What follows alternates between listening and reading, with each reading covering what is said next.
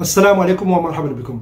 كما تعلمون قبل يومين أو ثلاث أيام كانت هناك مقابلة صحفية على قناة سي إن إن الأمريكية وهي أول خروج للمرشحة الديمقراطية كامالا هاريس رفقة نائبها تيم وولز. هذه أول مرة سوف يتحدث كامالا هاريس للصحافة الأمريكية متمثلة في قناة سي إن إن الموالية للحزب الديمقراطي. اولا هناك العديد من الأمور التي تم تسجيلها بخصوص هذه آه، آه، المقابلة والتي سوف أسلط الضوء فقط على ثلاث نقاط فيها. اولا المقابلة دامت 18 دقيقة. كانت مقابلة سريعة. هذا أول شيء. ثاني شيء أنه ربما كما هاريس تحدثت سبع دقائق فقط في هذه آه، المقابلة. ثالثا أن الأجوبة التي أجابت بها كامالا هاريس لم تكن مقنعة للناخب الأمريكي ولم تعطي للناخب الأمريكي أي أمل للتصويت عليها لكي تصبح أول رئيس للولايات المتحدة الأمريكية أو أنها هي الرئيس الأفضل لأمريكا عوض الرئيس الأمريكي الأسبق دونالد يعني ترامب. سوف أتحدث كما قلت على ثلاث نقاط. آه لا اضعكم في الصورة وتفهموا يعني سياسة وفكر هذه السيدة من بين الأسئلة التي طرحت على كاميرا هاريس وهو ماذا سوف تفعلينه في أول يوم من دخولك إلى البيت الأبيض elected what would you do on day one in the White House well there are a number of things I will tell you first and foremost one of my highest priorities is to do what we can to support and strengthen the middle class Um, when I look at the aspirations, the goals, the ambitions of the American people, I think that um, people are ready for a new way forward. Um, in a way that generations of Americans have been fueled by, by hope and by optimism.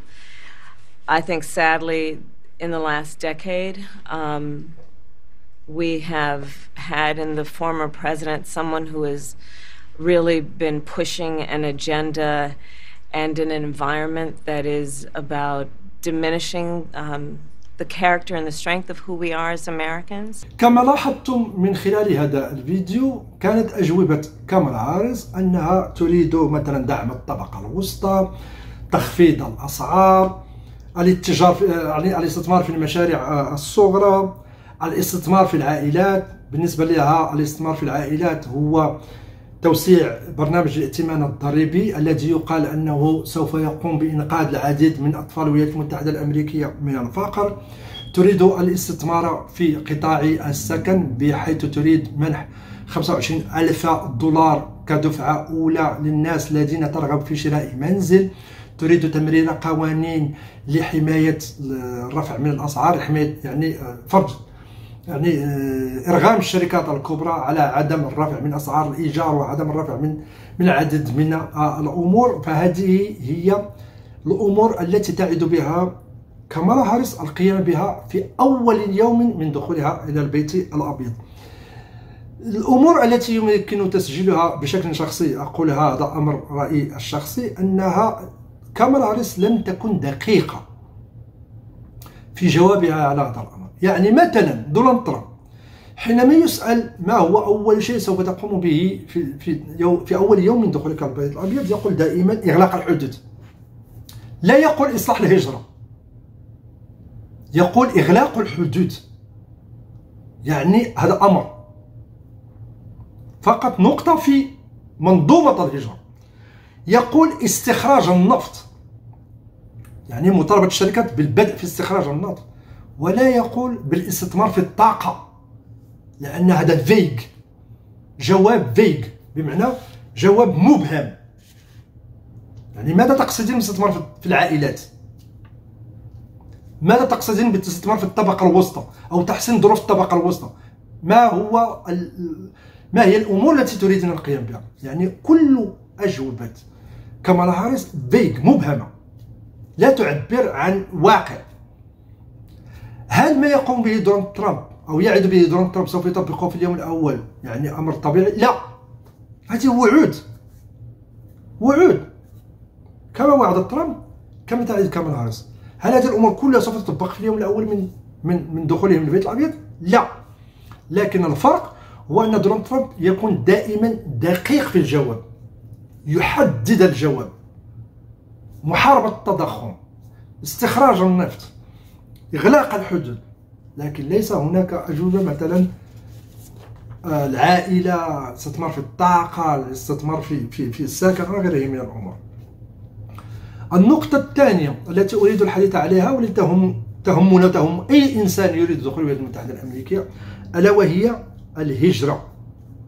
الهجرة هناك سؤال وجه لكامالا هاريس يقول لماذا انتظرت حكومة بايدن ثلاث سنوات لاتخاذ قرارات جذرية بخصوص الهجرة During the Biden-Harris administration, there were record numbers of illegal border crossings. Why did the Biden-Harris administration wait three and a half years to implement sweeping asylum restrictions? Well, first of all, uh, the root causes work that I did as vice president, that I was asked to do by the president, has actually resulted in a number of benefits, including historic investments by American businesses in that region. Um, the number of uh, immigrants coming from that region has actually reduced um, since we began that work. But I will say this that Joe Biden and I and our administration worked with members of the United States Congress on an immigration uh, issue that is very significant to the American people and to our security, which is the border. And through bipartisan work, including some of the most conservative members of the United States Congress, a bill was crafted, which we supported, which I support. And Donald Trump got word of this bill that would have contributed to securing our border. And because he believes that it would not have helped him politically, he told his folks in Congress, don't put it forward. He killed the bill. A border security bill that would have put 1,500 more agents on the border. And let me tell you something the Border Patrol endorsed the bill. And I'm that. sure, and I'm sure in large part because they knew they were working around the clock and 1,500 more agents would help them. That bill would have allowed us to increase seizures of fentanyl. Ask any community in America that has been devastated by fentanyl what passing that bill would have done to address their concern and a pain that they've so experienced. Would, so you would push that legislation again. I just want Not to ask only about push it, I will make sure that it comes to my desk and I would sign it. Just one other كما تعلمون منذ دخول جو بايدن الى السلطه في سنه 2021 قام بإرغاء يعني الغاء العديد من القرارات التي اتخذها دونالد ترامب. ربما هذه القرارات التي اتخذها دونالد ترامب كانت قرارات غير انسانيه لكن هناك العديد من القرارات التي سمحت بتدفق المهاجرين غير الشرعيين على الولايات المتحدة الأمريكية بأعداد خيالية. إلى غاية يعني هذه السنة 2024 سوف تقوم حكومة بايدن باتخاذ بعض القرارات الجذرية كالحد من الأرقام المسموح لها بدخول المهاجرين غير الشرعيين بشكل يومي وأنه إذا وصل إلى رقم محدد يتم منع المهاجرين من دخول الولايات المتحدة الأمريكية. فلماذا تنتظر أو انتظرت حكومة بايدن كل هذه السنوات إلى غاية شهور قليلة عن بدء أو موعد الانتخابات الأمريكية لتقوم هذه الحكومة بسن هذه السياسات بالنسبة لجواب كمالا كما لاحظتم تقول أن أعداد المهاجرين تقلصت تقلصت متى؟ هل تقلصت في 2021؟ هل تقلصت في 2022؟ في 2023 أم في هذه السنة. قالت كذلك أن حكومة بايدن اشتغلت مع أعضاء في الكونغرس من أجل تمرير بعض السياسات لحماية الحدود. لكن كان هناك تعنت من بعض الأعضاء المحافظين داخل البيت الأبيض داخل الكونغرس الأمريكي والمعروفون بولائهم لدونالد ترامب. يعني حتى فشل سياسة جو بايدن لحماية الحدود يتم رمي الأعذار على يعني على دونالد ترامب. يقولون أن هناك أناس موالون لدونالد ترامب. هم من رفضوا الجلوس على طاولة المفاوضات وحل هذه الأمور. يجب أن نعلم أن حكومة جو بايدن كانت تطلب مال أموال لكي يتم ضخها لحل هذا الأمر. هناك بالطبع جمهوريين رفضوا رفضوا هذه الأمور. يعني قالوا للجو بايدن وقلتها لكم في المرار وتكرر في العديد من الفيديوهات بداية هذه السنة قالوا للجو بايدن لكي نجلس معك لطاولة المفاوضات أول شيء إغلق الحدود. هذا أول شيء. وبعد ذلك يمكن الجلوس معك لمناقشة يعني المقترحات. جو بايدن رفض إغلاق الحدود. فلماذا كامالا هاريس تقول أنها أعداد المهاجرين تقلصت وأنهم حكومة جو بايدن اشتغلت مع الجمهوريين لكن الجمهوريين رفضوا في حين أنها لم تقل الحقيقة وهي أنه كان هناك اقتناع من الجمهوريين بالجلوس لطاولة المفاوضات لكن بشرط وهو الشرط الذي اشترطه الجمهوريين إغلاق الحدود. وبعد ذلك الجلوس لطاولة المفاوضات. وأعلنت في يعني آه، آخر كلمتها بخصوص الهجرة أنها لن تغير لن تغير سياستها. يعني سياسة بايدن الهجرة لن يتم تغييرها في حالة دخولها البيت يعني آه، آآ آه، الأبيض. فهذا بالنسبة للهجرة. كل هذه الأمور يمكنكم التعليق عليها إعطاء نظرتكم بخصوص هذا الأمر. الآن ننتقل إلى أهم نقطة وهي دعم بايدن كل هذه الأمور موجودة أمامكم سوف تظهر يعني أمامكم. فكان السؤال كالتالي كنت دائما مقتنعة بالصحة العقلية لجو بايدن. حتى بعد المناظرة يعني الفاشلة خرجت ودعمت جو بايدن. هل تتأسفين على كل هذا؟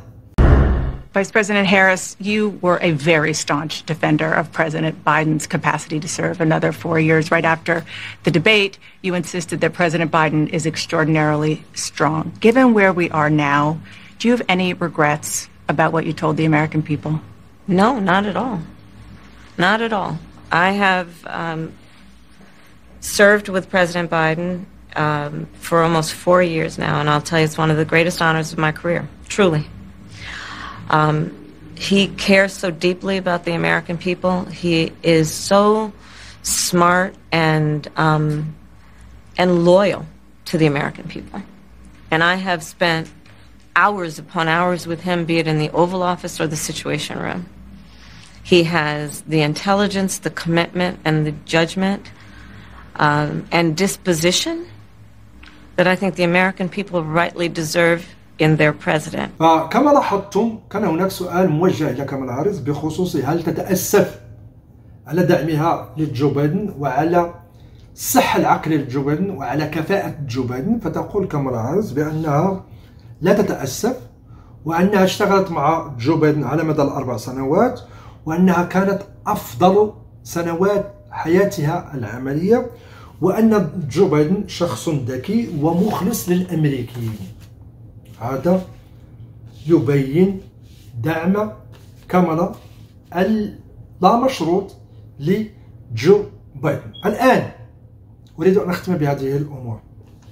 وهي أن العديد من الأمريكيين منذ تقريبا سنتين جو بايدن مشاكل العقلية لا لم تقع في سنة 2024 هناك العديد من الأمور التي تم تسجيلها منذ سنوات. آه كان تائه في بعض الفيديوهات كان يسقط في درج يعني الطائرة سقط في يعني حفل تخرج في إحدى القواعد العسكرية الأمريكية أعتقد في تكساس. هناك العديد من الأحداث. يعني ليس فقط في المناظرة أو قبل المناظرة أو بعد المناظرة. هذه الأمور تم تسجيلها منذ دخوله إلى البيت الأبيض. والأمريكيين الغالبية الساحقة تعلم أن جو بايدن غير مناسب لكي يكون رئيسا للولايات المتحدة الأمريكية. والعديد من الأمريكيين متأكدون أن من يسير الولايات المتحدة الأمريكية جو بايدن. بغض النظر على أن منصب رئيس الولايات المتحدة الأمريكية هو مجرد دمية وأن هناك أناس في الخلف هم الذين يتحكمون في سياسة الولايات المتحدة الأمريكية لأغراض ل benefits. Okay؟ لكن ظهر أنه تقريبا لأقول فقط سنة 2024 ظهر أنه من يسير يعني سدة الحكم في أمريكا هم نخبة نخبة الحزب الديمقراطي. أذكر منهم عائلة كلينتون بصفة عامة عائلة أوباما بصفة عامة جيك سوليفان يعني مستشار الأمن القومي. هناك فئة هي التي تسير تسير حكم الولايات المتحدة الأمريكية. لماذا؟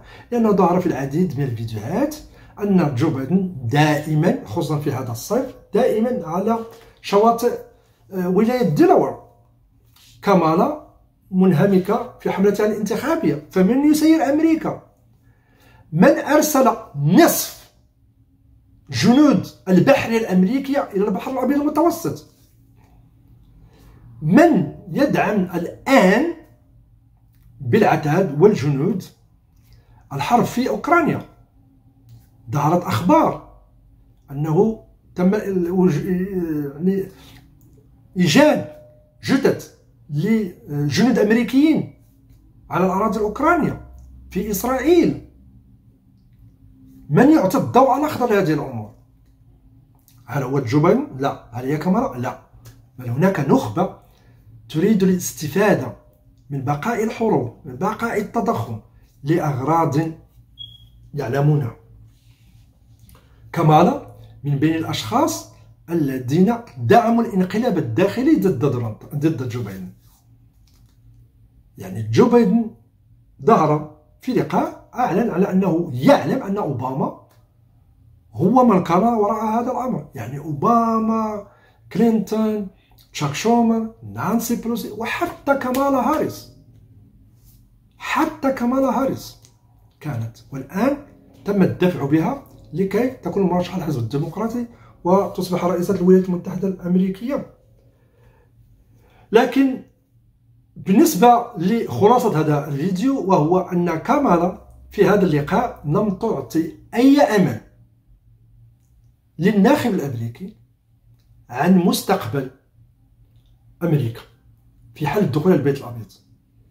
كل ما أكدت عليه أنها سوف تكون نسخة لسياسة جو بايدن يعني ما فشل فيه جو بايدن سوف تكون كمالة سوف تقوم كمالة بإكماله فقط.